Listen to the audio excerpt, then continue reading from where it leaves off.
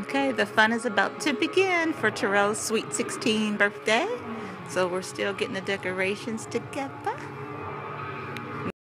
Let's see what we got for the movie.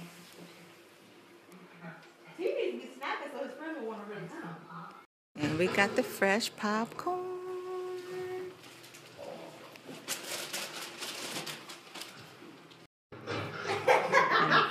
We got a fabulous cake. Yes. We got the theater room. Oh, Vince just snapped me.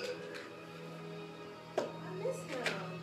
And we got the birthday boy. Say what's up, T. Woo-hoo, check him in his new